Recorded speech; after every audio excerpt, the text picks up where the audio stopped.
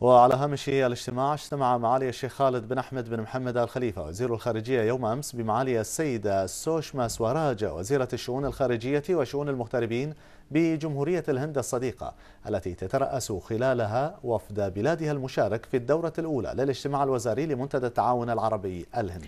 وقد رحب معالي الشيخ خالد بن أحمد بن محمد الخليفة بوزيرة الشؤون الخارجية وشؤون المغتربين بجمهورية الهند مشيدا معالي بعلاقات الصداقة القوية والتعاون الوثيق بين مملكة البحرين وجمهورية الهند. ومؤكدا معالي على عمق هذه العلاقات التاريخية وما تشهده من تطور ملموس على الدوام.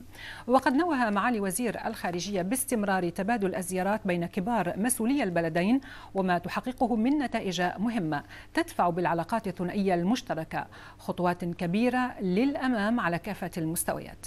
وقد أثنى معالي وزير الخارجية على الجهود الإيجابية التي تقوم بها الجالية الهندية في مملكة البحرين وبإسهاماتها في عملية البناء والتنمية مؤكدا معالي حرص مملكة البحرين على الارتقاء بالعلاقات الثنائية بين البلدين الصديقين نحو آفاق أرحب وتعزيز التعاون المشترك في شتى المجالات.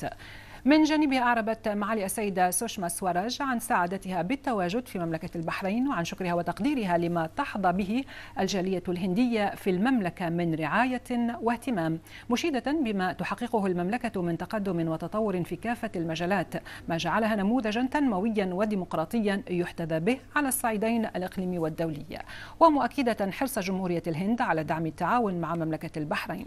كما تطرق الاجتماع إلى القضايا المدرجة على جدول أعمال الدورة الأولى للمنتدى العربي الهندي على المستوى الوزاري. هذا وقام معالي الشيخ خالد بن أحمد بن محمد الخليفة والسيدة سوشما سوراج بعد الاجتماع بالتوقيع على اتفاقية نقل المحكوم عليهم بين مملكة البحرين وجمهورية الهند.